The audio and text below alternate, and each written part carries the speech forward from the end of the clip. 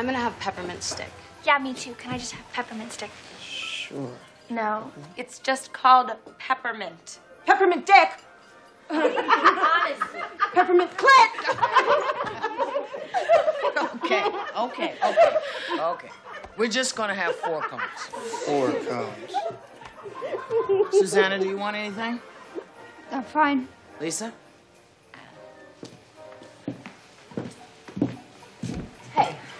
Ronnie, Uh, yes? got any hot fudge?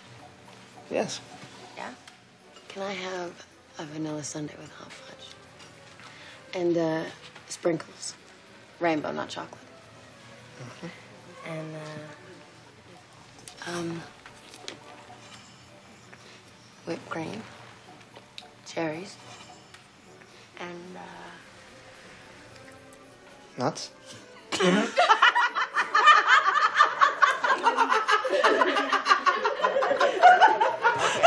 Okay, okay. Let's have a seat, ladies.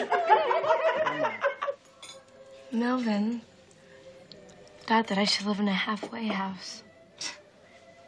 But my father knew that I deserved my own apartment. So he got me the prettiest apartment. It has an eating chicken and all this beautiful wicker furniture and which is fantastic. Wicker butterflies and my very favorite part is that like in the phone book there's a sign right outside that says if you lived here you'd be home now. Hello, Susanna.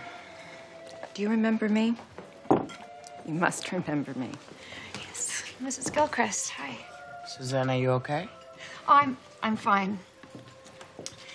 Hey, Bonnie. Hi. How's Radcliffe? Wellesley. Uh, I'm enjoying it. Strong in art.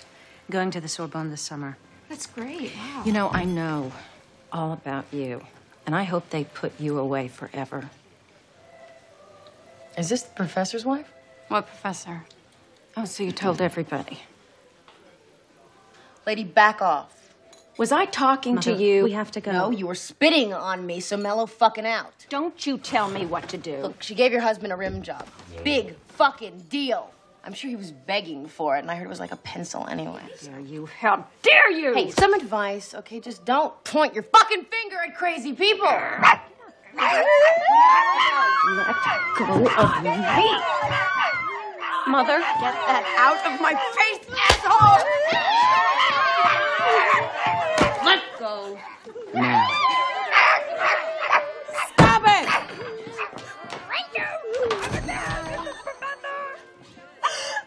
Shared a man with that woman.